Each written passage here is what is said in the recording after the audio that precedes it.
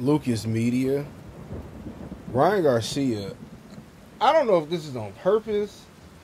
If he's having a meltdown. I don't know if is is this is his phone hacked. One of y'all please let me know. But I'm taking a look, and he just put a tweet up that says if I can't get into my space, someone come help me set it up, or I go live on someone else's. What what what the hell is Ryan talking about? Ryan has been wilding out.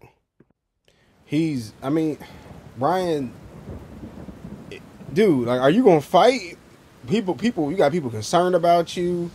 You know, people are, are accusing him of um you know, indulging himself a little, you know, y'all know I can't say it on here, but y'all know he he hasn't seen himself. He tried to pull a, allegedly a prank. Now his dad said that it, uh, or people thought he was serious. Something serious was happening to him, but now then his dad was talking about it was a prank, and then he went live yesterday, put out a video talking about he don't have access to none of his stuff, and he wants to explain it. And I know he had issues with his ex-wife.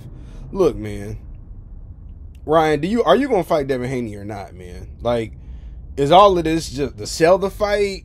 Are you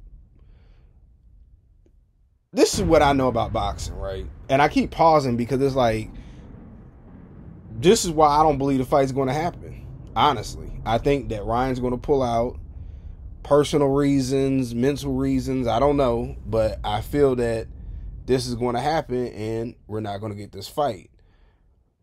Uh, one minute, you know, you was running up on Devin Haney at the Super Bowl. Now you acting all confused and everybody's out against you, but then he just he just put up another tweet saying he gonna explain himself and I don't know. I don't know. Y'all about to the Ryan Garcia fans on here, y'all let me know, honestly. Am I tripping? Because I mean it just something seems all about this, man. But we just want to see the fight. But tell me what y'all think.